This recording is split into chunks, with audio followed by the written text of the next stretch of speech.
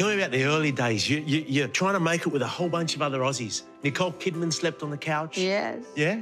Well, we the house we had was like the Gumleaf Mafia. It was like you were all there, like, you know, giving a go as a stroller, and like you'd do five auditions a day. You just drive all over LA, and then by night we party. But we were all doing it together, and it was. And who was there? Oh gosh, Tom Burlinson, Uh-huh. um, Nicole Kidman, Naomi Watts, uh, just ga- gangs of people. We know how to party Yeah. better than the Americans.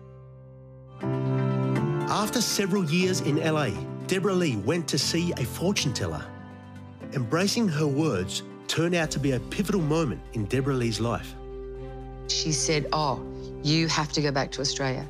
Everything falls into place um, in Australia, and you're going to meet someone, and you have to go. And it was at a time I was like, just I wanted to get out of LA, and she said that, and so I did it. And I came back to Australia and just got a whole lot of work, and then I got this TV show called Correlli, and they said there's this guy Jack Human who's your co-star. I'm like, who? And I'd never heard of him. Anyway, I met my husband. Oh, wow. Was it instant attraction? Or... It was instant attraction, as in it was probably the best tennis match I'd ever had. Like working with Hugh, we were just. Mm. When you act with someone and it just flows, we just, and we did have an instant connection, like as far as just these two. It was almost, I almost missed it. It was so comfortable. Mm. And all my girlfriends said, oh, he doesn't seem your type. He looks like he bathes. He looks like he bathes. Probably shouldn't have shared that. That's, no, that's hilarious. Mind you, he did have tattoos and a mullet at the time. That was his character. oh, and, and, and Hugh's super tough. I mean, you don't get much tougher than Wolverine. Is it true that your advice to Hugh was don't take the role of Wolverine? Oh, God. Do you, know, do you know how much shit I've got for this? Oh, my God. No, well, because we read this script and it was like his claws come out and he goes shook. And I'm like, what is this? He's at the National Theatre doing Oklahoma, you know? Yeah. Had cred. So, yeah, when I, and we knew, both of us knew nothing about it. He thought it was the Uncanny X-Men, which was Brian Mannix, an Australian band. He had no clue.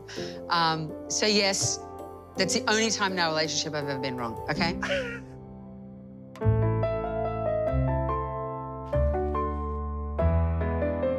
When did you know that Hugh was the one? He said he knew two weeks in. I remember saying to him, he was cooking a dinner party, and I said in the kitchen, I said, Oh, you haven't been coming to my trailer because we always used to hang out lately. He goes, Yeah, yeah, I know. I, I haven't. He said, oh, I've got a crush on you. I went, Oh.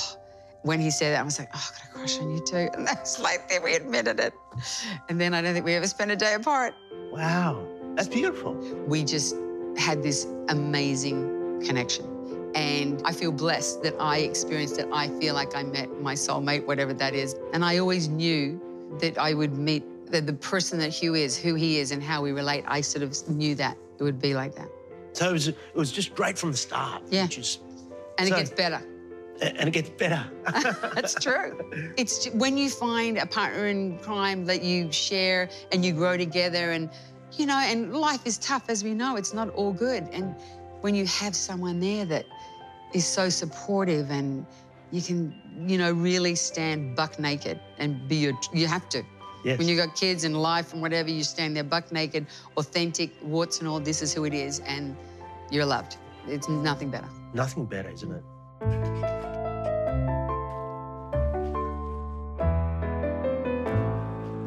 Take me back to your wedding day. I spent a year organizing the wedding. Our wedding was best wedding I ever went to. I loved every minute of it. And this is before the days when Hugh was Wolverine. Oh, correct? Yeah. I had to beg for him to be my date at the Logies, I think. Like, the, who is this guy? I'm like, just, can I bring him? Anyway, so they had every religion was involved in that. And I had grown up in the Jewish community. I'd always, like, all my friends were Jewish. I'd been to all the Jewish weddings. And just because I'm not of the faith, I'm not missing out on the fun, because I'm sorry, Jewish community, they have the best weddings. So Hugh and I had a whole section where we did the hora, we were up on the chairs. So all the Christian communities going, what the hell is going on here? Hugh wanted the bouncy castle. I drew the line at the bouncy castle. It was the greatest wedding. Loved it. Do you get sick of being told you're lucky to be married to Hugh? Lucky, like I won a chook raffle.